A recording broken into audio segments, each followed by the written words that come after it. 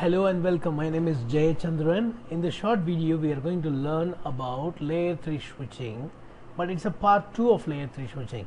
In part 1 of layer 3 switching, I was teaching you inter-VLAN routing, router on a stick. Inter-VLAN routing, router on a stick. This is part 2 of layer 3 switching. In this, what we are going to see is the drawback that we have in router on a stick and uh, what's the solution for that? That's what we are going to see. The drawback in layer 3 switching is this. If you see link between router and the switch the, the wire between router and the switch it has a shared bandwidth. It has a shared bandwidth. Why? You know we created two sub interface and it has shared bandwidth. VLAN 10 and VLAN 20 goes on same link now when you try to ping from 10.1 to 20.1 you, you are able to ping how it is possible. See trace route.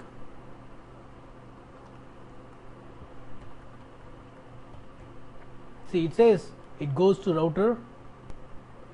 So it says the gateway uh, it, it goes to router 1 and then goes to the final destination likewise when I when I say trace route from uh, the other PC 20.2 PC 10.0.0.1 it says it goes to 20.0.0.1 where where this IP addresses are we configure on the sub interface show IP interface brief on the router we configure. So if I go from 10 10 VLAN to 20 VLAN it goes to router. 20 VLAN to 10 VLAN it goes to router so here the link between switch and the router takes same packet twice. A shared bandwidth. Packet goes and comes back via the same interface twice via the same link. So the path that you take you know here it takes it consumes some, some time to send and send it back. Take it and send it back. The time is wasted actually see if I will have a router here on the switch itself you would have, you can avoid this time. The time taken to traverse between switch and the router. If I have a router and a switch together I can I can uh, I can save this time. Not only that I no need to share a bandwidth. See if I have uh, simultaneous traffic between VLAN 10 and uh, 20 like, like this. Ping hyphen t 20.0.0.1 no space. Come on. Yeah. It's pinging. Likewise I'll ping from this PC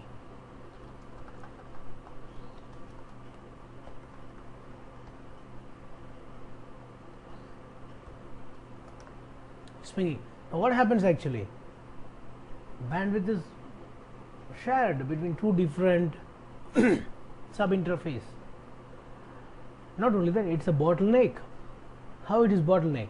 The packets are coming to the switch, processed in the motherboard speed, back panel speed. It's called as back panel speed. Processed in motherboard speed, sent via a narrow fast Ethernet shared interface to the router. Router processed in a back panel speed again sends via one narrow route uh, yeah link. So this is what you know bottleneck delay unnecessary delay. That's the drawback.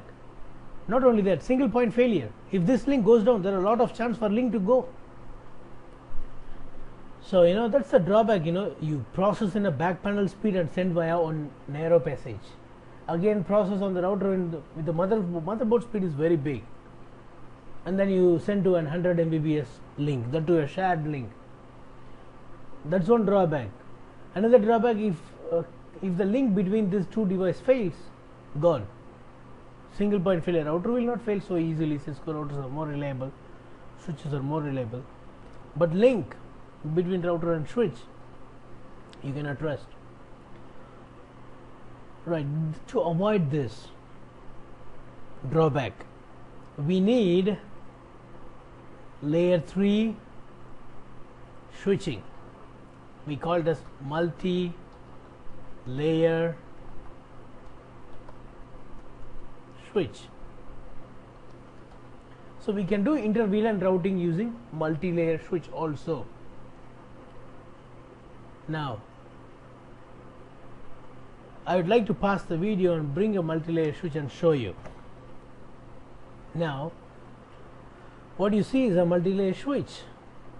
Instead of uh, two device I have one single device. See that is again another advantage.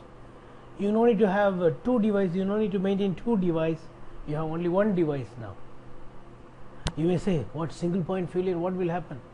No it's not easy to uh, switches won't go down so easily route Cisco devices are more reliable. A link may go down easily.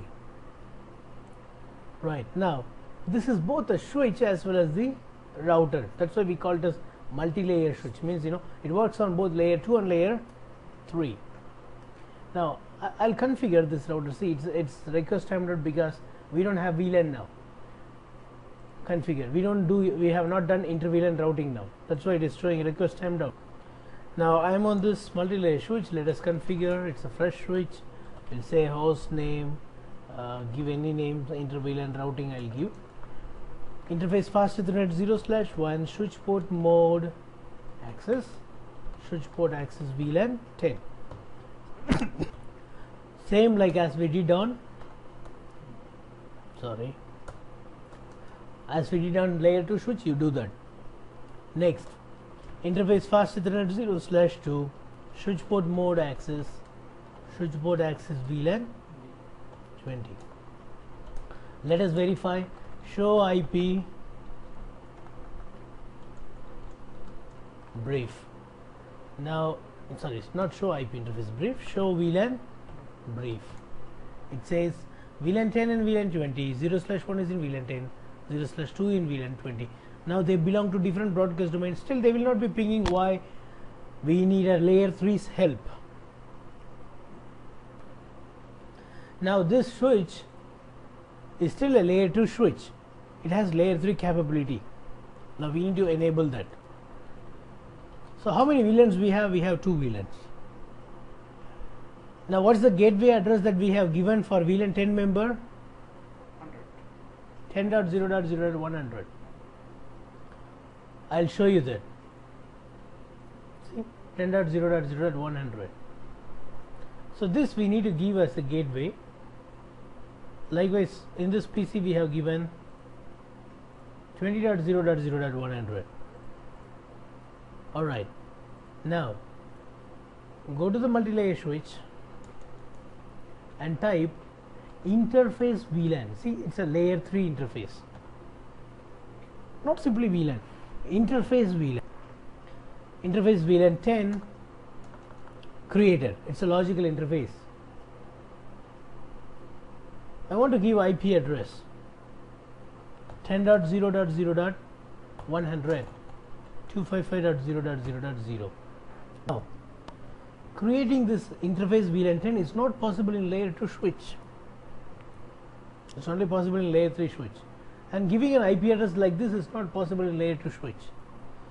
Now creating interface VLAN is called as SVI switched virtual interface SVI so now I have created one SVI called VLAN 10 now we have created one SVI let us verify that. See show IP interface brief. Look at this. You have an interface called VLAN 10 it is there. Up VLAN 1 is there by default but we don't use VLAN 10 now. For 1 now we use 10 one more. Interface VLAN 20 I say IP address 20.0.0.100 so this IP address is common for all those who are member of VLAN 20 so this is what you know SVI let's verify now one more time show interface brief look at this two SVIs have been created and it is up. Type show IP route. I also have a route. So we see 10 network is pointing towards SVI VLAN 10 SVI 20 now we have VLAN interfaces. We have uh, also routing. In case if you didn't find this table routing table in some IOS you need to type IP unicast or IP routing. IP routing command. In some routers you need to type this only then you will find this routing table.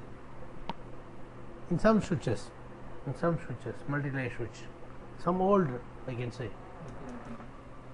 IP routing command you need to type in the global configuration mode IP routing so if you for if you don't find the routing table make sure you go to the interface sorry uh, global configuration mode and type IP routing. That's it. that's it. Right. Now let us ping and see the adjacent device first. I want to check whether properly see here you don't need to create trunk. You don't have single point failure. You don't have uh, that uh, router uh, with sub interface and encapsulation dot one k all the stuff. Let me try pinging uh, that 10.0.0.1 which is directly connected. I am pinging 20.0.0.1 I have that also I should ping. Come on. Yeah pinging. Now if that is the case then I should ping from uh, see I'm pinging already.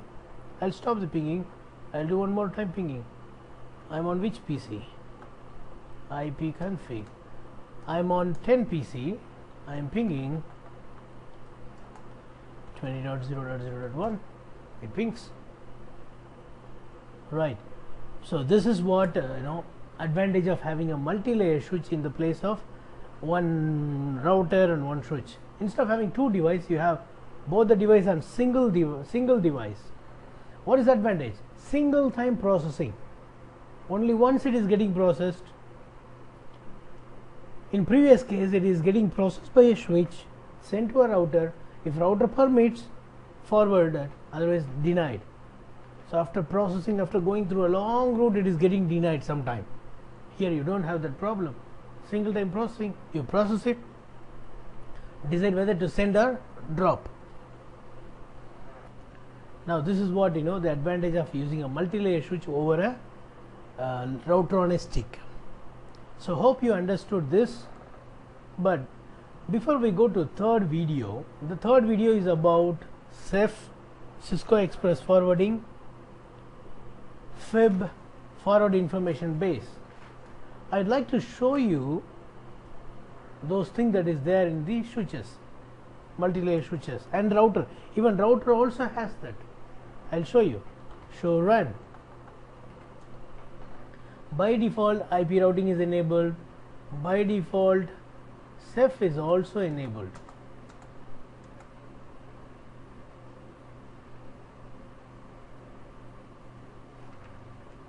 You will find IP CEF. If not we will enable. Now I want to show shows CEF.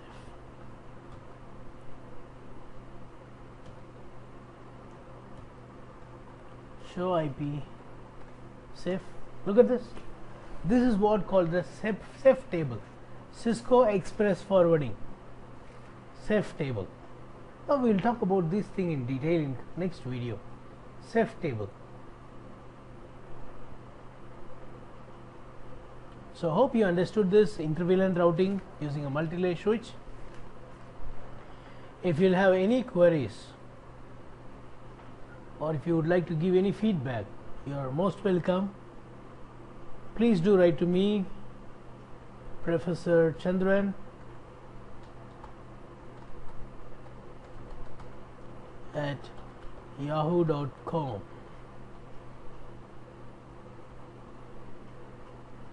Right? Thank you. See you in the next video. Bye bye.